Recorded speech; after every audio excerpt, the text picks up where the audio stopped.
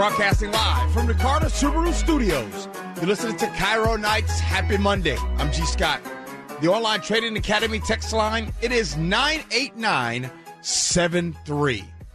Well, we do this every Monday at 9 o'clock where we go and find out what's on our minds. So, but that includes you too. So 98973 is the Online Trading Academy text line. You can kind of text in and let us know what's on your mind. We can maybe some of those we'll read through and read that out there. So myself and Frank Shires, Drew Barth, and DB, we will be talking about what's on our minds. Am I going first? You are going first. All right, I'll go first. Um, Michael Jackson leaving Neverland debuted yesterday, and right now you look on Twitter, you look on social media, Facebook, all those things. You have those that thinks he did it, and those that, that thinks he didn't. This is Finding Neverland is a is it a multi part documentary? Yes, yes, on HBO right now. Got it. Right. Plus, then there's the Oprah interview after. Right. Which a lot of folks are mad at Oprah for doing this interview, those that support and love Michael Jackson. And it's interesting. What's on my mind that's just, it really, really bothers me is, is this. Are there's so many that are enraged and upset and how dare they and he's passed away. Hmm. And are like he never did that. How do you know? How do you know that he did there like this is somebody who was not ch- charged just once but twice Yep. for this. He was charged twice hmm. actually settling at some point giving money away. There was a picture years ago. I'm matter of fact, I'm gonna have to look it up on social media. There was one picture for me. Uh, it was it was after his second time of being charged, and I think that was in what 2005 or something, like that. It was the second time he had been charged, and after that, during that time, I saw a picture of him. And you guys remember Emmanuel Lewis played Webster. Oh yeah. You remember him? Yeah. little, little short Yeah, yeah. Mhm. There was a picture of Michael Jackson just kind of laying there in the bed. And Emmanuel Lewis is in the bed and he has a bottle in his hand. And then there's a bottle that's right next to Michael. Now, Emmanuel Lewis, remember, he was a little guy, Yep. small guy. And he actually is like 13 years old in this picture. Yeah. And Emmanuel Lewis wasn't just the only young guy that Michael hung with. Michael hung out with a lot of young boys. Mhm. I don't care what anybody says. It is not normal. And people give this excuse, well, yeah, Michael had a he had a rough childhood. It is not normal for 30, 40 year old men to sleep with young boys. Just out of curiosity, would you consider Michael Jackson a normal human being? No. On no level. No, on no level. Yeah. Right. But I, I and, and so here's the thing that's on my mind. Okay. What bothers me is when I see this. When I see, oh, I, I, I can't watch. I just don't want it to be true. Stop right there. Yeah. That is what's on my mind. There are a lot of people that want it not to be true, It- it- especially the victims.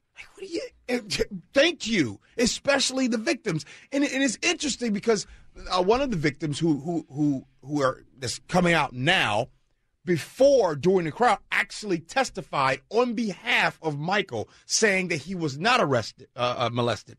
Then years later, He's recanted. he he uh, he wanted. Then after Michael died, Yep. he tried to actually wait. He tried to get a job with the Jackson Estate. That didn't happen. Then he tried a, a lawsuit against the Jackson Estate. He lost that. Then now this. Okay.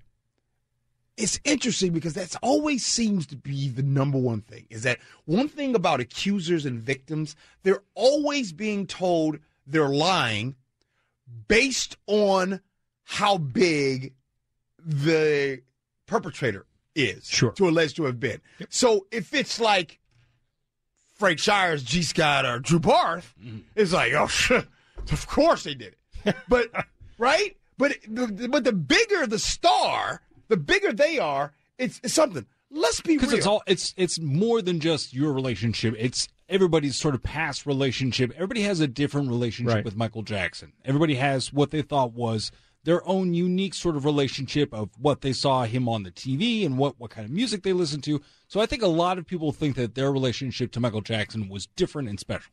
I think that's where the law enforcement background in me, my DNA, is just in me. What's right is right, what's wrong is wrong, does not matter who you are.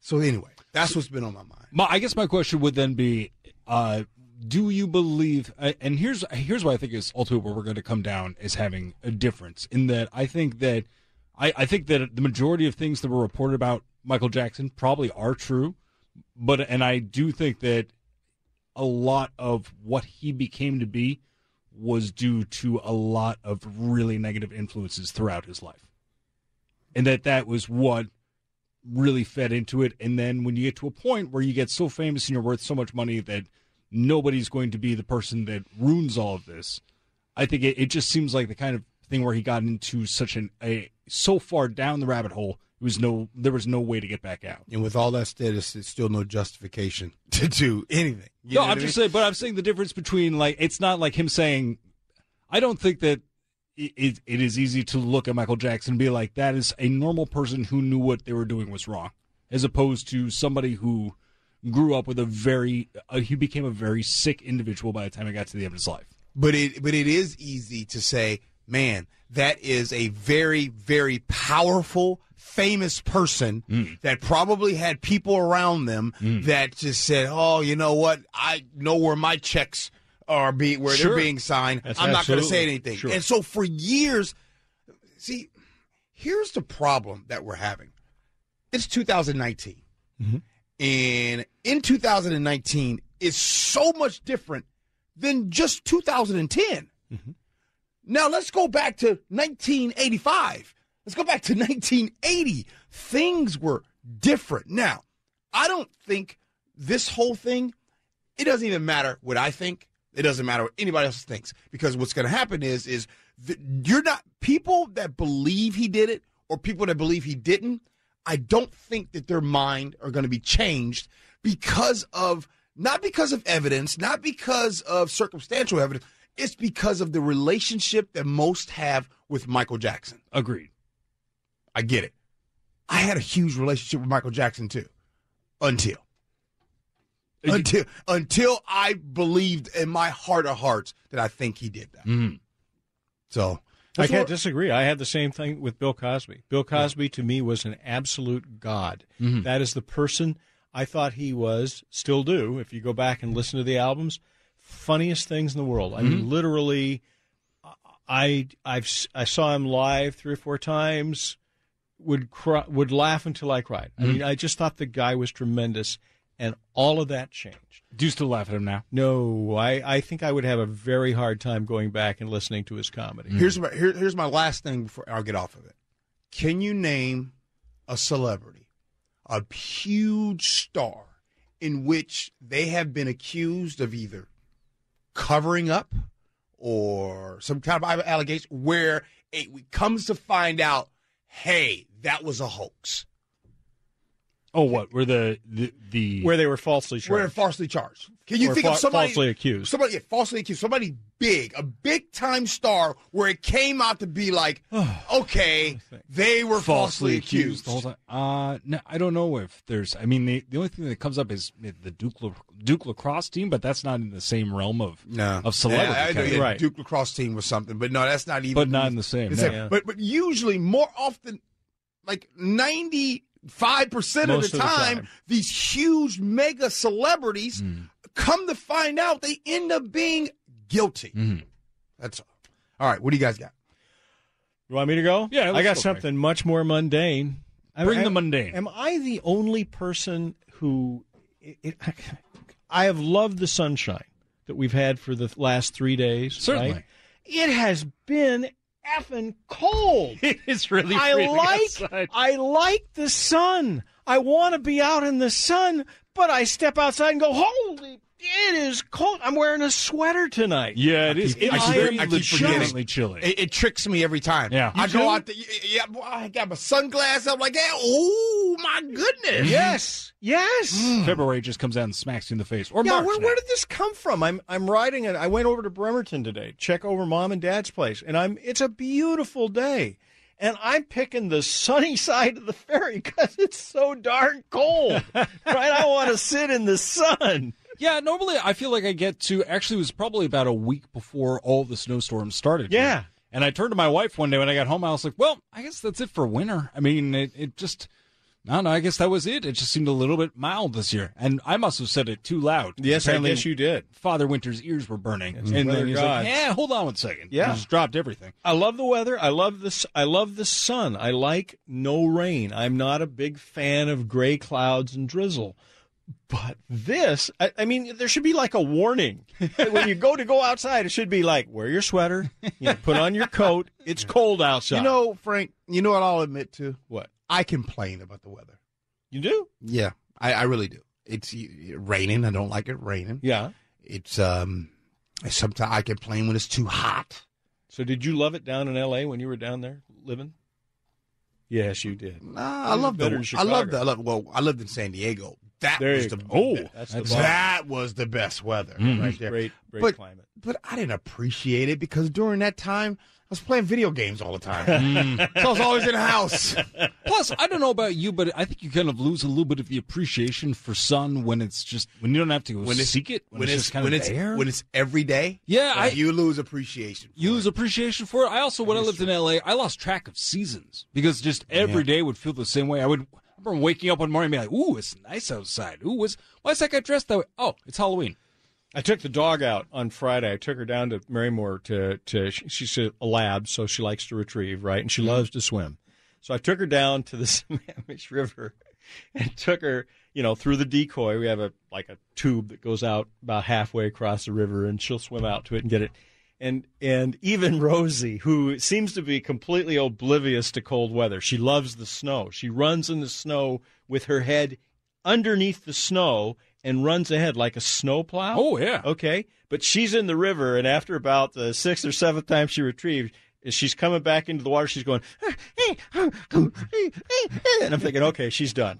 She even she's cold. What do you got, brother? You know, I so I moved up to Mountlake Terrace uh, sometime middle of last year, which I absolutely love, and it's uh, I, I like how a little bit removed it is, but it definitely does feel like they're just in the, in the midst of finishing up uh, some initial parts of the light rail that's going to come up there, so you can really feel like this place is sort of on the rise. As a matter of fact, uh, Andrew Lanier from uh, Candy Mike and Tom had forwarded on to me apparently. Mountlake Terrace is going to be going through a whole bunch of upzoning and was kind of giving an idea of what the future layout is going to look like of my neighborhood. And I've seen quite a few homes that are starting to be foreclosed on, some that are being razed to the ground. Really? Yes, and they're putting in new properties there, which you know what I really I'm okay with. I understand the fact that you know not everything is going to stay the same for a long period of time. I get that.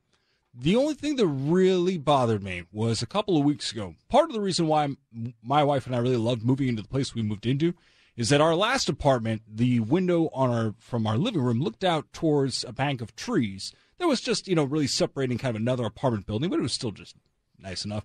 The place that we moved into, this place here, off in the distance were probably a stretch of 30 or 40 60 foot tall trees. Just beautiful, gorgeous trees. They're probably 40 or 50 years old.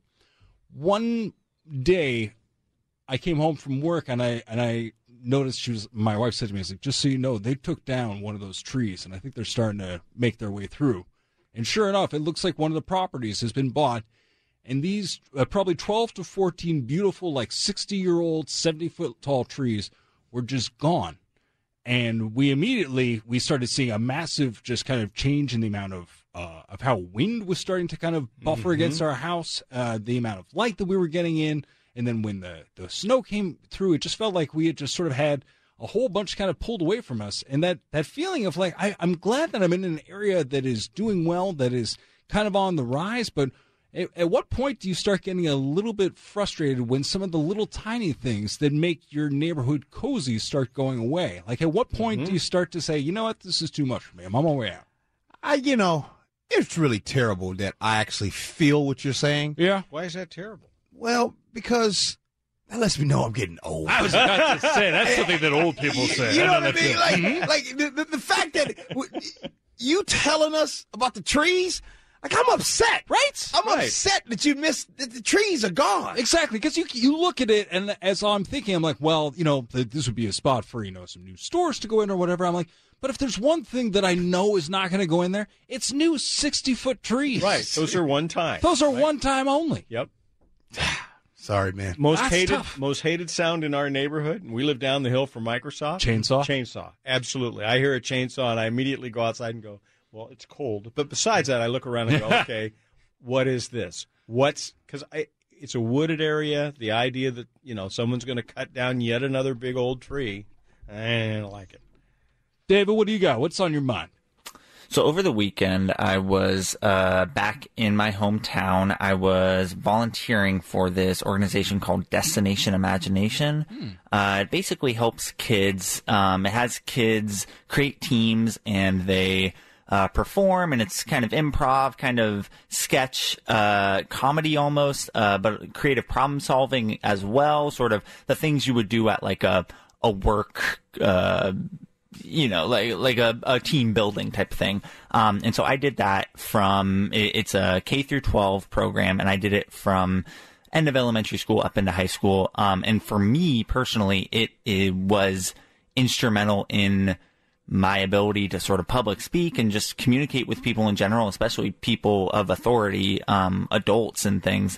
And so, uh, and I, I owe so much to the organization. And so I, uh, every year now go back and I, I volunteer either as a judge or I help sort of set things up. Um, and I've been doing that for five years now. And this year, unfortunately, it was, um, like, there were like half of the kids and teams that are usually there. Um, and it was kind of a sad and somber sight. And so I, guess my basic thing that's on my mind is I, I don't know what it is that, that has driven kids and teams away from this organization and from organizations like it that sort of sprout creativity and, and teamwork and, and hard work and sort of the integrity of that. Uh, and I don't know if it's technology. I don't know if it's parents. I don't know what it is, but really hope that it, it starts turning back around and that, uh, and that kids get back into, if not necessarily this one organization, kids go and, and parents uh, encourage kids to do things that are going to really build their not just their their uh, imagination but their self-esteem because that's that was the huge thing for me That's fantastic. Yeah. Couldn't agree with that more. Yep. It was great. Get involved. I just just loved how this song came in. Just made it feel like a real '80s theme. Like you know, back in the day in the '80s, like if something was like, "Oh, that's one to grow on," and then it's the music. Like, Come on, hey, do you know who composed this she is that from the Love Boat? it's uh barry white Oh yeah. Oh, yeah. Hey, coming up next, we talk about sports. Maura Dooley comes in, hangs out with us. You listen to KIRO Nights. Gee Scott.